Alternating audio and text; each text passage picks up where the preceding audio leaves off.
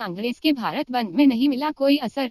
देश भर में डीजल, पेट्रोल, रसोई, गैस, बेरोजगारी और जीएसटी की बढ़ती दरों को लेकर आज कांग्रेस ने भारत बंद करने कर केंद्र सरकार से बढ़ती कीमतों को कम करने की मांग की है, जिसके लिए मथुरा में भी भारत बंद का मिला जुला असर देखने को मिल रहा है, सभी का सहयोग मिल रहा है। कांग्रेस कार्यकर्ता शहर भर में पेट्रोल पंप और बाज़ार को बंद कर भारत बंद को सफल कराने में लगे है। सुबह से ही मथुरा में कांग्रेस के नेताओं ने सभी व्यापारियों से महँगाई को कम करने के उनके इस आंदोलन में साथ देने की अपील की है और शहर के हृदय हृदय स्थल होली गेट पर भी दुकानदारों से बाज़ार बंद करने की कर रहे हैं। महँगाई को लेकर आज विपक्ष का भारत बंद है, जिसमें विपक्ष की लगभग दर्जन भर पार्टियाँ एक साथ मिलकर इस आंदोलन में भाग ले रही है। वही शहर में जगह जगह पुलिस बल तैनात किया गया है ताकि किसी भी हिंसात्मक घटना को रोका जा सके और जनता में भी कोई माहौल न बिगड़ पाए। कांग्रेस के सभी कार्यकर्ताओं और नेताओं ने सड़क पर उतर कर कर जनता से बंदी की अपील कर पूर्ण बंद का आह्वान किया है। स्मृति ईरानी, सुषमा स्वराज और मोदी जी मौन क्यों है? पूर्व सी लीडर प्रदीप माथुर ने कहा कि आज भारत बंद में अपार सहयोग हमें व्यापारियों के साथ साथ जनता का भी मिल रहा है। डीजल और पेट्रोल के साथ साथ गैस सिलेंडर के दाम सातवें आसमान पर पहुँच गए हैं। स्मृति ईरानी सुषमा स्वराज और मोदी जी मौन क्यों है? जनता त्राही त्राही कर रही है।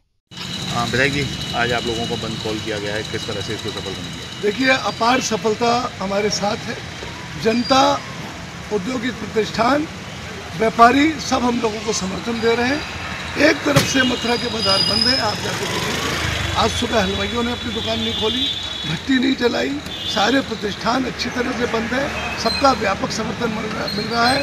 डीजल की दाम इतने बढ़ गए, पेट्रोल के दाम इतने बढ़ गए कि लोगों के सिर से पानी निकल चुका है और गैस सिलेंडर बिल्कुल सातवें आसमान पर पहुँच रहे हैं। आम जनता त्रस्त है। आज तो सफल बंद इसलिए कि चाय वालों ने भी अपनी दुकानें बंद रखी हैं।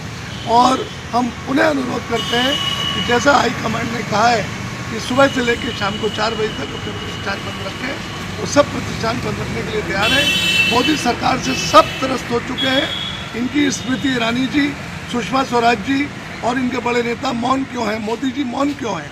आप रुपए की जो डॉलर के मुकाबले में दाम बिल्कुल घट चुके हैं और आपका जो जो रिज़र्व है, फंड्स का रिज़र्व है आरबीआई का और देश का जो है वो सब खत्म हो गया है और देश रेसेशन की तरफ़ जा रहा है। खतरे की घंटी बच चुकी है। मोदी जी अब आपके दिन पूरे हो गए हैं। केंद्र सरकार कह रही है कि आर्थिक स्थिति में सुधार हुआ है और जो कोई नहीं सब जुमले वाले इनके स्टेटमेंट्स है। सारे स्टेटिस्टिकल डेटा इनके जुमले के हैं।